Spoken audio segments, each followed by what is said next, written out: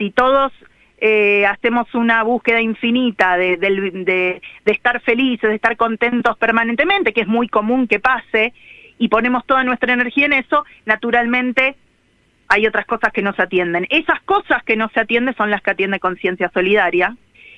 Y eh, después de 17 años, eh, decir que esta tarea se sigue sosteniendo implica ese compromiso, implica trabajar por lo general eh, 24/7 los 365 días del año, porque eh, no está de más contarle a la gente que, que bueno, nada, que esto es todos los días,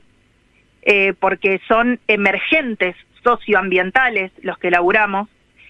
y los emergentes no están diciendo, ah, hoy es domingo, hoy es sábado, hoy es feriado. O sea,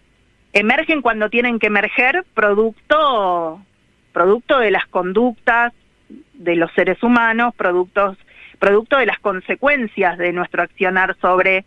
la tierra, ¿no?